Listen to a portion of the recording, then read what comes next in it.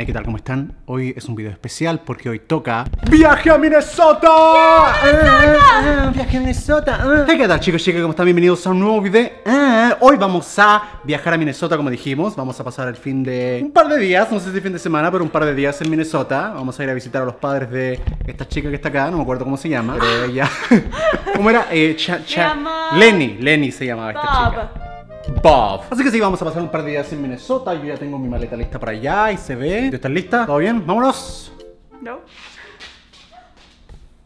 Ok, entonces Leney aún no está lista. Pero por mientras voy a responder una pregunta que alguno de ustedes me hizo sobre eh, videojuegos que jugaba hace muchísimo tiempo. Con todo esto de que Minecraft está regresando y un montón de personas están jugándolo de nuevo, muchos te me han preguntado, Germán, ¿qué otro videojuego de todos los que jugabas antes te trae mucha nostalgia y te gustaría jugar o juegas actualmente? Y de hecho, obviamente, aparte de todos los juegos que ustedes saben que a mí me gustan, que son los juegos con historia, etcétera, etcétera, creo que uno de los juegos que más me trae nostalgia y que más me gusta hasta el día de hoy es los Sims 4. ¿Por qué? Porque es un juego que, a pesar de que pueda pasar el tiempo, lo puedes seguir abriendo y puedes seguir jugándolo. Creo que es súper bonito eso de, de meterte a la vida de otra persona que tú creaste, eh, jugar un poco a ser ahí como el creador de las personas, ¿no? Que sí, creo que Sims 4 siempre ha sido bastante interesante para mí por ese hecho. Es uno de mis juegos favoritos, el cual uno puede seguir jugando, como dije, una y otra vez sin cansarse. Me acuerdo que Leney pasó una vez, no sé, unas 3 horas personalizando su personaje. Un mon- cinco- unas 5 horas tratando de crear su personaje. Yo siempre creo los personajes parecidos a mí, o sea, como que los pongo a mi, de mi forma de ser, eh, mi pelo, etcétera, etcétera. Pero sí, los Sims 4 definitivamente es uno de esos juegos que a pesar de que pase el tiempo, te va a seguir gustando y, y esas cositas que lo hicieron genial no pasan de moda, a eso me refiero. Son juegos que, que posiblemente en 20 años más voy a abrir mi computador, va a estar ahí y lo voy a seguir jugando de la misma forma que lo jugaba cuando lo, lo vi por primera vez. Así que sí, extraño los Sims 4. Ok, entonces estamos listos. ¿Todo bien? Listo. ¡Vámonos! ¡Adiós, gatos! ¡Bye, Copito! ¡Bye, Lucy! ¡Bye, Charlotte! ¡Cuídense bien! ¡No hagan muchas fiestas! Hey, ok, entonces estamos camino al, al café para gatos. Básicamente es un café donde uno puede entrar, tomar un cafecito y aparte jugar con gatos que están ahí. O sea, uno puede jugar eh, con cuántos, unos 10 gatos al mismo tiempo. Ver, 100, no sé. No sé, pero es un, es un lugar básicamente donde uno puede entrar, tomar un café mientras tienes a un montón de gatos encima tuyo. Si se están preguntando por qué Leney está con un disfraz de Harley Quinn, es porque acabamos de ir a un lugar, una convención de anime, donde muchas personas se fueron vestidas de personajes de anime, creo que personajes de cómics también, etcétera, etcétera. Ok, entonces primero hay que lavarse las manos, ya me las lavé. Entramos a la puerta, donde hay un montón de gatos. Hola, ¿qué tal? Oh. Oh, este amigable. Hola, ¿cómo estás? Ok, entonces la idea de este lugar es que todos estos gatos están para adoptarse, están para la adopción, así que lo bonito es que la gente puede venir a jugar con ellos, puede pasar el tiempo con ellos, se pueden adoptar, así que todos estos gatitos eventualmente van a tener un hogar, ¿cierto? No te quiero molestar, solo quiero ser tu cariñito. Así que claro, todo el concepto es venir acá a tomarse un cafecito al lado de un gato. Hola, gato. Hey. Gatito, ¿quieres un cafecito? Me está ignorando. Ignorado. Me dejó con el visto. Aquí nos contaron que más de 100 gatos han sido adoptados aquí. Eh, y es bonito porque mientras esperan un hogar, pueden tener el cariño de la gente. Aquí hay que tener cuidado porque casi piso ese. Casi te piso. Perdón. ¿No? Ok. Es el gato más peludo que he visto en mi vida. ¿Puedo hacerte cariño? ¿Hey? ¿Puedo hacerte cariño?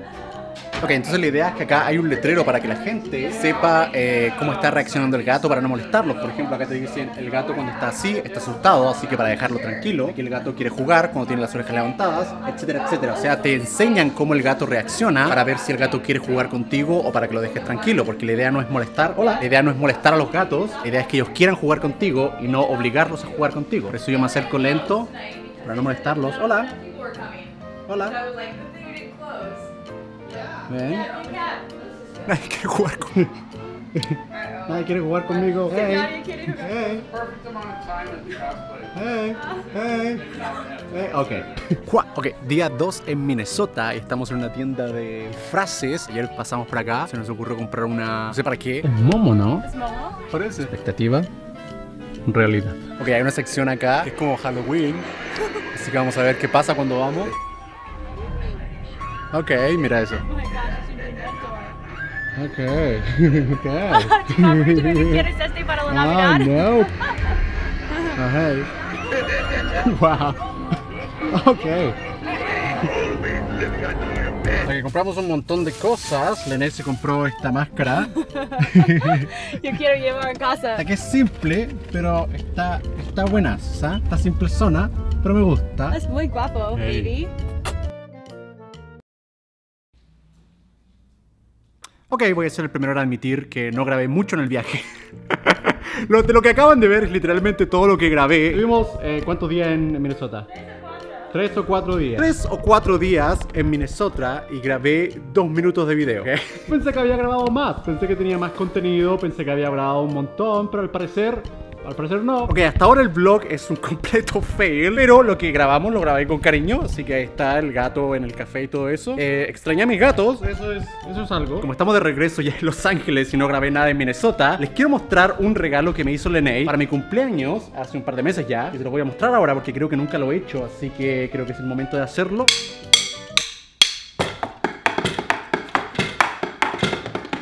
Ok, probablemente ustedes no escuchen nada porque estoy ocupándolo con audífonos, pero esto es una batería eléctrica que Lene me regaló para mi cumpleaños. De hecho, ustedes pónganse los audífonos para que escuchen. ¿Se escucha? Ya, sí, se escucha. Ok, para conmemorar este viaje fallido, o grabación fallida, porque el viaje fue excelente, decidí hacer una canción que vamos a improvisar ahora con mi hermano gemelo, así que espero que les guste. Esta canción se llama El Block Fail.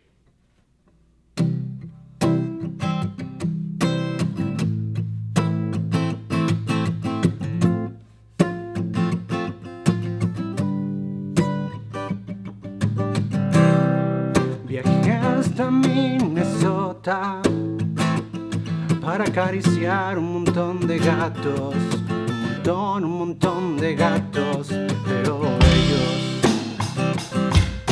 no me dieron ni bola. Traté de acariciar más de 10 gatos, pero me dejaron con el visto.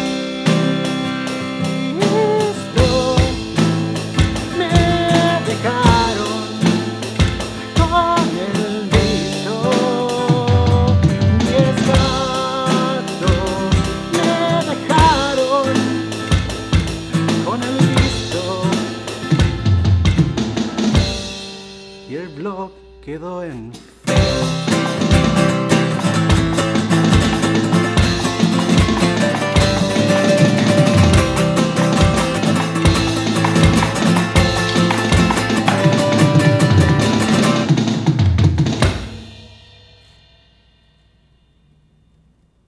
Siguiente video, clic ahí. Para ver otro video más interesante. Suscríbete, subo video todos los días. Comparte este video. No lo compartas, por favor, no comparte este video. Comparte los otros videos que tengo, son mejores. Block fail.